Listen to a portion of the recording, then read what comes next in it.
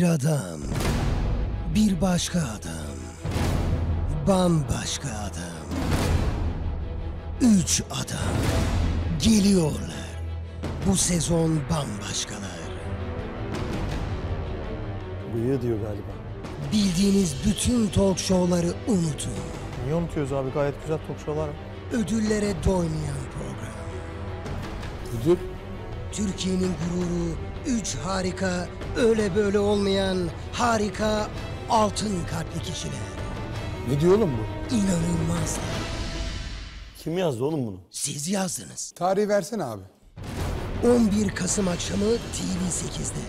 Olağanüstü bir tarih. Müthiş, harika. Böyle başlangıç görülmedi. Yaşasın. Hadi gidelim. Gidiyorlar. Şu an giderken bile olağanüstü karizmatikler. Tütütü maşallah.